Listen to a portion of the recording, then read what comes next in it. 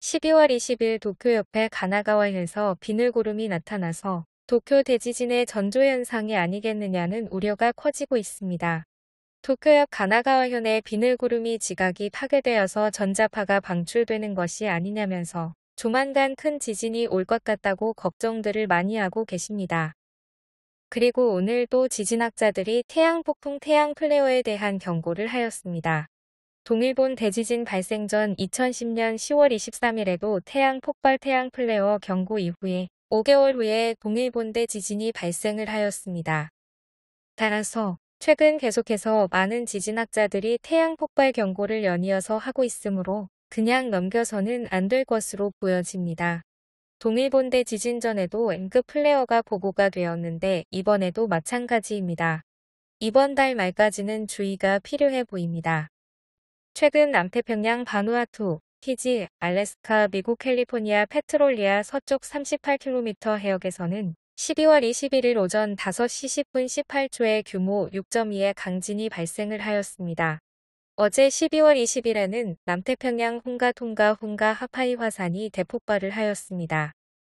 바누아투 바로 옆에 위치한 곳입니다. 이곳은 2015년에 화산 폭발로 만들어진 섬이다. 12월 20일 폭발한 남태평양 훈가 통가 훈가 하파이 화산은 칼데라가 바다 표면 위로 솟아있는 수중 화산입니다. 해저 화산의 대폭발인 것입니다. 이곳이 중요한 이유는 남태평양 바누아투와 통가 지역이기 때문이고 또한 100년 전 오가사와라 제도의 해저 화산이 폭발한 이후에 강진들이 규슈 구마모토와 동북 지역에서 많이 발생을 했었으며 100년 뒤인 2021년 이즈제도와 오가사와 라 제도에서 500km의 신발 지진들이 자주 발생한 후에 8월 16일 오가사와 라 제도에서 후쿠토쿠 오카노바 해저 화산이 대폭발을 하였기 때문입니다. 며칠 동안 도쿄 인근 이즈제도에서 강진들이 발생을 하고 있습니다. 도쿄 대폭발에 대한 우려가 커지고 있습니다. 그리고 12월 21일 화요일에 홋카이도 히카타 중부에서 규모 4.8의 강진이 발생을 하였으며 주변 아오모리현도 큰 진동이 있었습니다.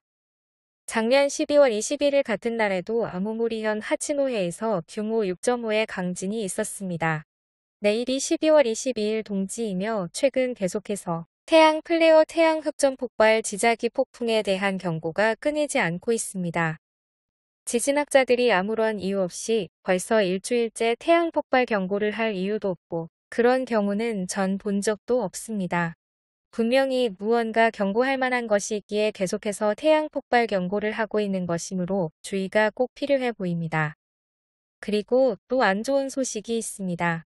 오늘 12월 21일에 일본 규슈 사쿠라지마와 스와노세지마가 또 폭발을 하였습니다. 마지막을 향해서 달려가는 불새와도 같은 모습의 일본입니다. 시청해 주셔서 진심으로 감사드리겠습니다.